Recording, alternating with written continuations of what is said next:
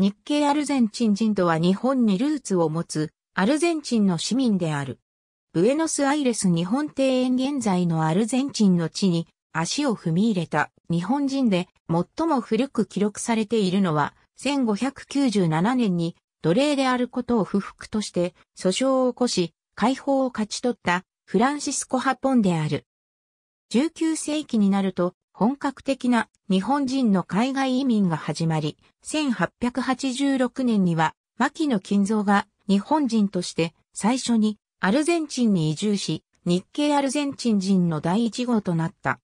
その後、伊藤製造が約8000ヘクタールの富士牧場を経営した。20世紀にブラジル移民が解禁され、1908年に日本からブラジルに向けて移民船の笠戸丸が出港した際には780人の日本人のうち160人がブラジルのサントスに着く前にブエノスアイレスで下船した。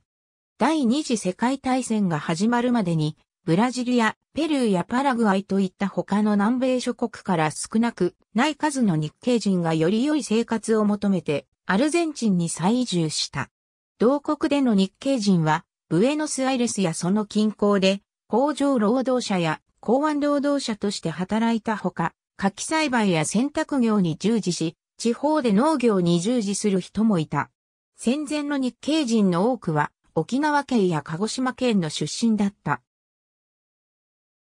第二次世界大戦が始まった後、1943年に政権を握った統一省公団の軍事政権は、親数軸政治と絶対中立を標榜しており、連合国との協調を重視した他のラテンアメリカ諸国よりも弾圧が少なかったことに加え、当時労働大臣となり、労働者階級に大きな支持基盤を築いたフアンペロン将軍が、親数軸思考と親日的な傾向から日系人を徴用したこともあり、日本語教育や日系人の集会の禁止といった措置は取られたものの、アルゼンチンは1000を超える。日系人人口を要する国としてはほぼ唯一の財産没収やアメリカ合衆国の強制収容所への追放などの大規模な弾圧を行わない国となった。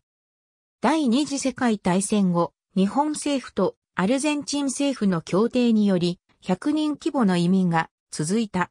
1959年にはメソポタミア地方のミシオネス州に、1962年には空女地方に位置する面倒サ州に移住地が設置された。戦前、戦後を通じて移民の出身地としては沖縄県が多く全体の約7から8割に及ぶ。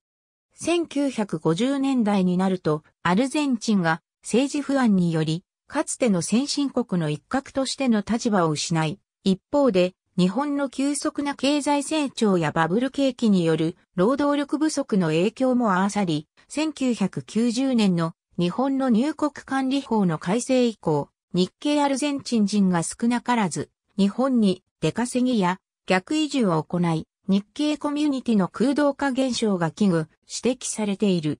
3世以降の日系人の多くは日本語を理解せず、スペイン語が主要言語となっている。